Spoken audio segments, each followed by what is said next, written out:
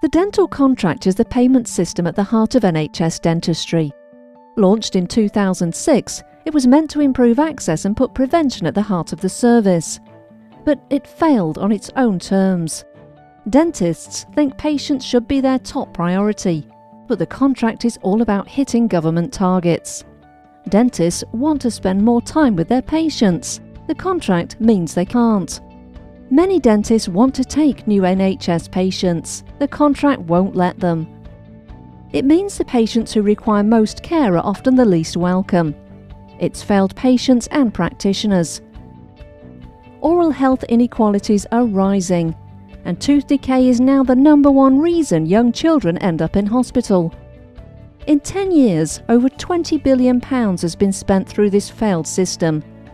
We can do better the Department of Health is looking at options for a reformed contract.